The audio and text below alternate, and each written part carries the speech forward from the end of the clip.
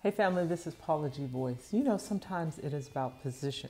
It's about being in the right position. It's about being in the right place at the right time.